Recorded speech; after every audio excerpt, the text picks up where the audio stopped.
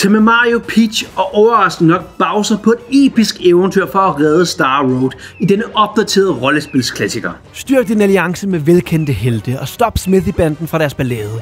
Oplev et farverigt rollespil med forbedret grafik og filmsekvenser, der tilføjer endnu mere charme til Marios uventede samarbejde med Bowser og Peach, samt de originale figurer Mallow og Gino. Dyk ned i en verden af ekscentriske allierede og spøjse fjender, mens du hopper gennem levende miljøer, der giver kampene ekstra pondus. Udforsk med din gruppe og kast dig ud i turbaserede kampe med spændende Super Mario-monstre. Her er timing altafgørende, for hvis du trykker på knappen på det helt rigtige tidspunkt, kan du nemlig udføre maksimal skade eller parere i et kritisk øjeblik. Uanset om du er lojal fan af originalen eller ny til spillet, er denne Nintendo Switch version af det allerførste Super Mario RPG et must-try.